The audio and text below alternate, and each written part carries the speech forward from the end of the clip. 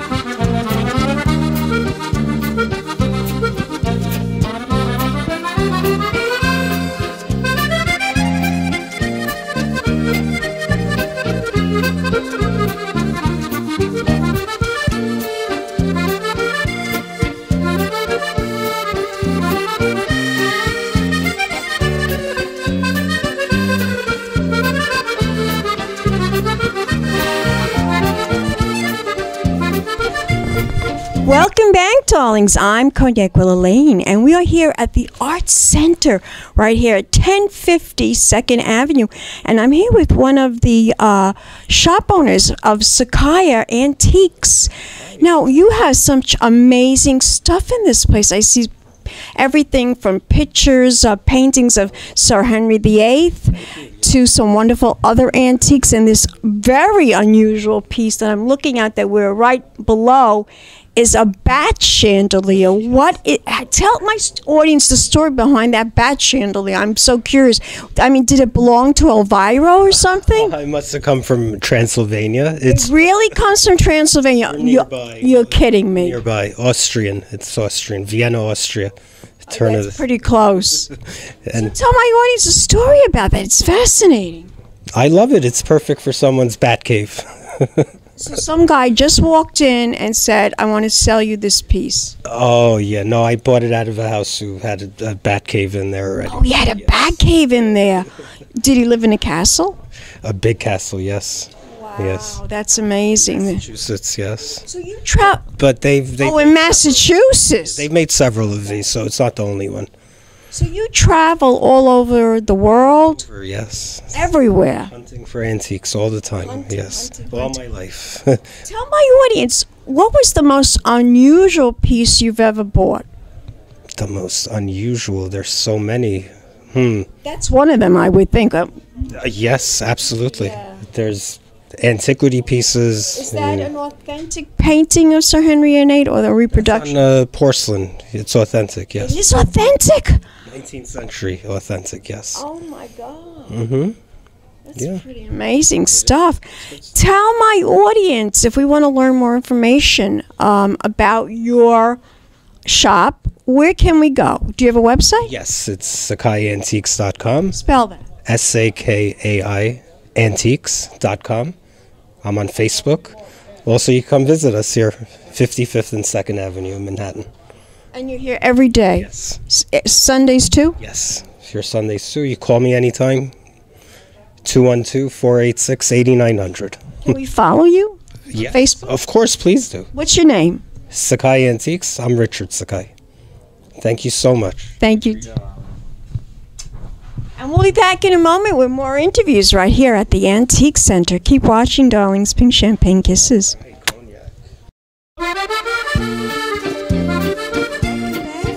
I'm Cognac Wellerlane, and we are here at the Antique Arts Center. And I'm here with the gallery owner, and she's going to introduce herself and explain to my audience what this is all about. This is quite remarkable works of art. Introduce yourself, darling. Thank you so much. Uh, my name is Shiva, and uh, I am from um Iran, which you know most people know like Persia.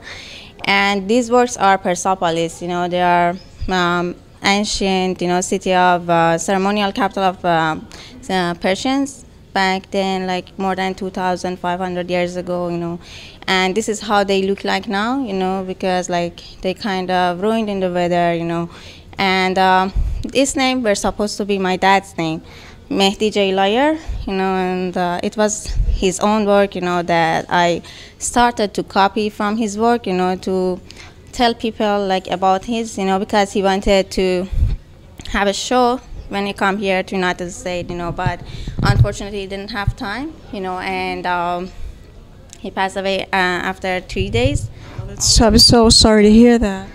yeah it was so heartbreaking you know and when i came here and i see my name there you know it was you know it was so sad because it was supposed to be his name but thank god that i'm doing his work you know for him you know and i'm you know kind of Here to promote all this art. yeah It's quite remarkable. How many pieces are in this gallery? uh, only uh, five pieces uh, are here. Two of them are his original artworks, you know, and uh, three of them are the ones that I copied from him. Really? You copied from him? Yeah. Wow. So I want to keep his works, you know, they're not for sale, you know, and if I want to sell, you know, I will. Unique. It's gorgeous. It's at, what do you what do you use with a a piece of art like this? How do you how do you create something like this?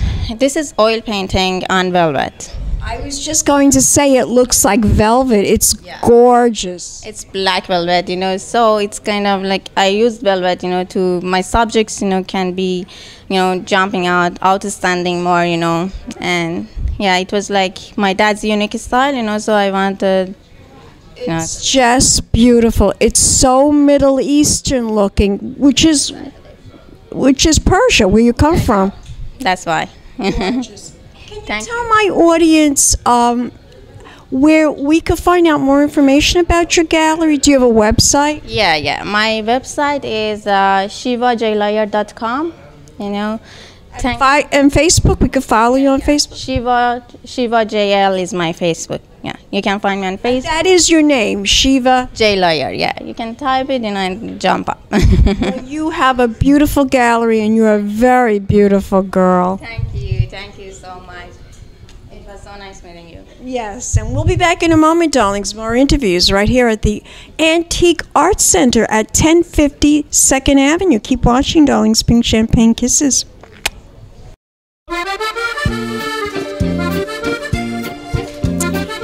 Welcome back, darlings. I'm Cognac Wellerlane, and we are here at the Antique Arts Center located at 1050 Second Avenue and 55th Street. And I'm here with the director of this fabulous establishment. Introduce yourself to the camera. Thank you very much. I'm Paul Anavian. I uh, manage the Manhattan Art and Antique Center and uh, been doing it now for three years. And we have this new initiative to uh, bring established and emerging artists uh, to the Antique Center and uh, Art Center that we have here. And it's so far so good. We're, we're running a program that now will has installed eight artists. Uh, one you just I saw you interviewing, and many more I hope you will get to Yes. and we think it's a wonderful presentation for the neighborhood, which used to be very, uh, very much uh, entrenched in the arts throughout the history, and we're hoping to bring some of that back here now. Bring it back. You want to be more enthusiastic, and hopefully, more people will be coming and purchasing some of the fabulous art. And now, these are all emerging uh, artists. There are th- some of them quite well established. You have uh, Zahra Nazari on the other end of uh, the hall there, which I hope you'll get to uh, to meet. And uh, Lulu Dong, who's uh, got some awards. We have some emerging artists as well. So it's a mixture of uh, emerging and established artists. Nice collaboration. Thank you very much. Yes, yes. Well, it's very exciting. I mean, everything I'm looking at looks absolutely gorgeous. I'm really enjoying myself. And it's a great idea to have this new program, develop a new program like this to make art goers and art seekers and art enthusiasts come in and buy the paintings and buy the artwork and even the antiques. Yes, well, we found that many of the clients coming here have expressed an interest in contemporary art and have kind of reached out to us where are the contemporary dealers? And we have hemingway gallery who does contemporary african art and uh, we have pockets of contemporary art throughout the building uh, but now we're trying to establish more of a, a bigger presence in the contemporary art field yes. How many artists are here under this uh, one building? Do you know? Well, in this show, we have eight artists uh, who have uh, set up, and then you have countless number of artists represented throughout the building uh, through the dealers that are here, uh, from uh, old established ar- artists like Picasso, and uh, You even have Picasso here. there's, Pica- there's Picasso pottery in the building. I don't know if there's a painting at the moment, but uh, there is a, a contemporary uh, Picasso uh, pottery and Art Nouveau, Art Deco. And, And I understand there's three floors of art and antiques. That's right. There are three floors, uh, so you have galleries on every level. The larger galleries being downstairs, and upstairs you have a lot of fine jewelers uh, with uh, estate jewelry, vintage jewelry, uh, Victorian, Edwardian. So if you can't find something here, I don't know where you're going to find it, darling. No, if you don't find something here, you won't find it anywhere. Uh, yes, because we have everything from A to Z really covered in this building.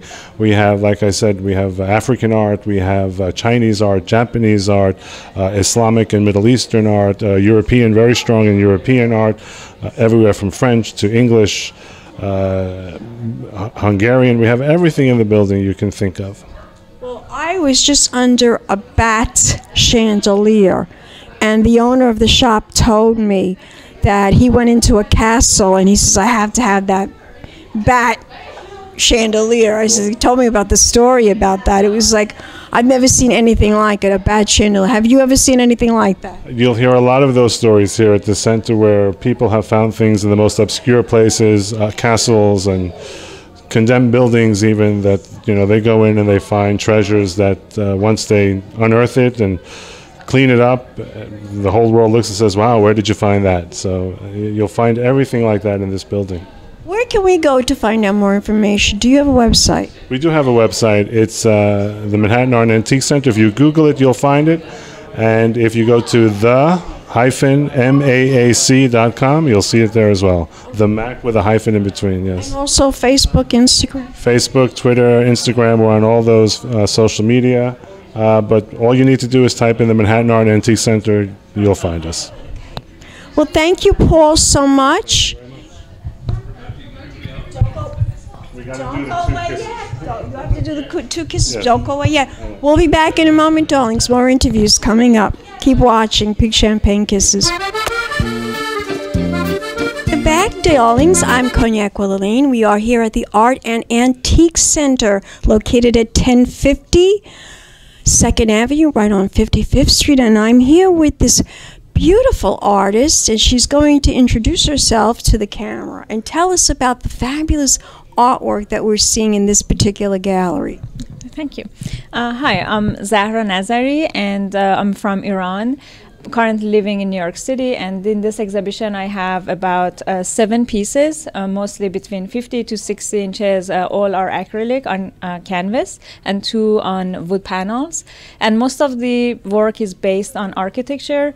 A lot of them have influence from Iran and the place that I was born and uh, then reflection of living in a modern city like New York City and how these uh, two different environment influence my work and how the And how pretty much it inspires you to create all these pieces of art. yeah just living in like an um, a metropolitan city and how like dynamic the energy and the sound of the city started to influence the work and uh, turn it to more postmodern and decons- like deconstructivism architecture which you see in this piece and These are all contemporary pieces of art. Yes. so like there as like after a few years like the oldest influences of ancient architecture is like becoming like an abstraction and mostly like a memory and also as uh, as I grow as an artist, especially like an, as an immigrant artist from Iran, it's all uh, about this a sense of uh, being in feeling in between and the the sense of uh, not being uh, settled in a country that you don't uh, feel like that you belong to, and it's always constant move from one place to another. I know it must be very hard. Uh, yes, so- so it's just all this. you, are you trying to assimilate yourself here? Are you trying to? Uh, you do you like living in the United States? Yeah, I, I feel like I feel more uh, belong to this country because I came here my early um, my mid twenties, so that was like the time I felt like I was more um, like my personality was shaping, and it the whole influence and the, in terms of like my personality developed in this country. So I definitely feel more attached than the place I was born, but all of this like the fragmentation you see in the piece is just like the uh, pieces that uh, comes from It's like broken pieces that you're trying to put together again. try the sense of like your uh, identity and your uh, future and also like thinking making a new home for yourself and actually creating an imaginary city for yourself. This particular painting that I'm standing in front of, it looks like it's sort of like an explosion, and then there's light in the center, and it's like you wanted to like grab that centerpiece because of the the light that's coming from it. Well, I mean, actually, for this one, I was looking at the um, geometric forms and like the ceiling of a mosque and also some uh, like historical buildings, and I brought like the images uh, of those structure and also with the lines of like the glass uh, buildings that how it uh, it's like folded and it's reflective, um, and it's like a pathway, so it's just like an un unclear uh, moving forward but as you mentioned there's a light so it's not like a really um, it's it's a positive uh, looking Yes. towards future That's exactly that's what I'm. That's the vibe that I'm getting. Now, all of this is yours. You've done all these paintings. yes Unbelievable. Now, uh, from what I understand, that your paintings are considered museum quality paintings. Is that really true?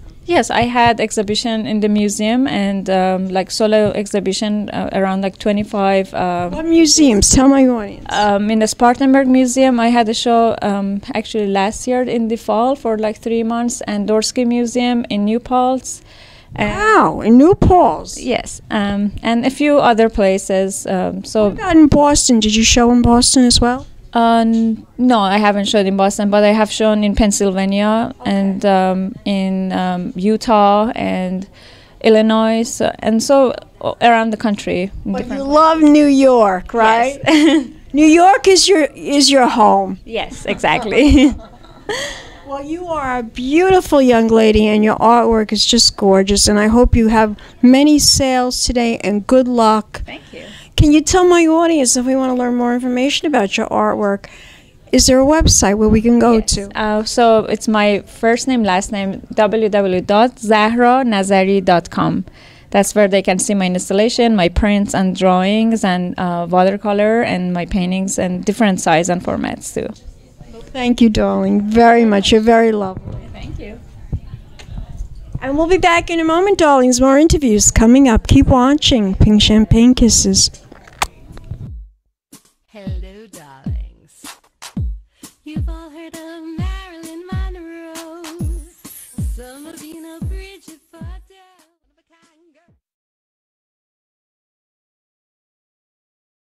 Been a Crybaby Productions, darlings.